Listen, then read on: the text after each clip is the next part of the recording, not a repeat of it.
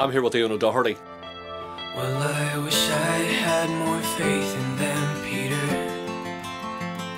But I've Now, grown Ian, you're from Tralee in Kerry.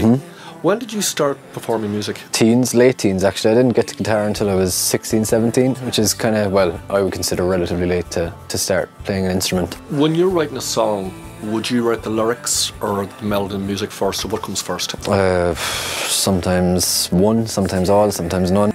I've kind of come to know songwriting as quite an ethereal experience nearly. I've kind of given up trying to understand what works best, trying to put a theory or trying to put a, a box or a frame on it. So it could be could be any of them. When you write a song, do you have an intended audience in mind? I do, um, or at least I did at the start. You're very aware that you need to make inroads as quick as you can, and you maybe write songs that you think might have a better chance of getting to radio. But now I'm working on a batch of songs where I'm the intended audience, and uh, it, it feels like it feels like the best place so far, anyway. How do you know when a song is done? I think it's it's very much well for me. It's very much a gut thing. You'll know if, if there's something wrong or if it's if it's okay to to say okay, we're done now. How long on average would it take you to write a song? It depends. Um, it could take, you know, you could write a song in a day.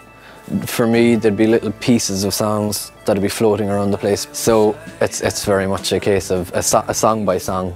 Tell us what you've learned over the years about writing good lyrics. Again, it's, it's very much an opinion thing for me, a personal opinion thing for me. A good lyric is it's accessible, it's interesting. I like to know what it means.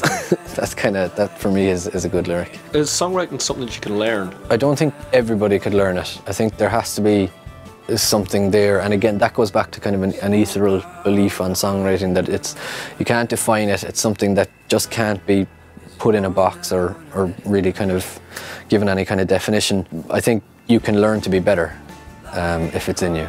I, do, I don't know, is it for everybody? What is the best piece of songwriting advice you've ever been given? Um, persistence, I think. Now, here comes a hard question for you. What is the best song ever written? And can you say why? I can go from week to week, month to month, kind of having one song go around in my head, and then it could be something else another time. Rocket Man by Elton John, that's one of the more recent ones that I'm kind of digging on. And but I don't know, I, I haven't got an answer to that. That's, That's too tough a question. Let's move on.